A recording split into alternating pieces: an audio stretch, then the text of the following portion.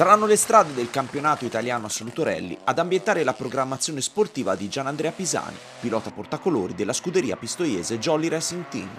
Il driver, tra i protagonisti del confronto tricolore dello scorso anno, ha sciolto le riserve ufficializzando la propria partecipazione alla massima espressione realistica nazionale, al volante della Peugeot 208 Rally 4 messa a disposizione dal team Laser Prom 015, esemplare, equipaggiato con pneumatici Michelin.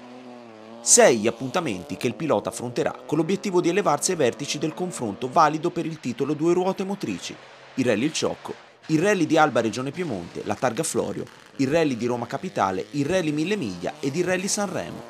A condividere la stagione sportiva del driver di Jolly Racing Team, che prenderà il via a marzo sulle strade del Rally Il Ciocco, sarà Fabrizio Becoli, confermato nel ruolo di copilota.